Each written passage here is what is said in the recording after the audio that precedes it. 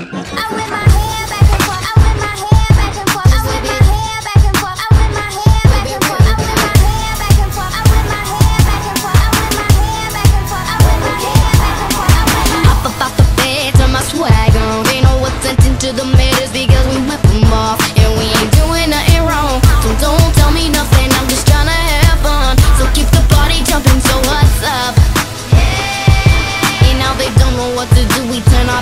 win more.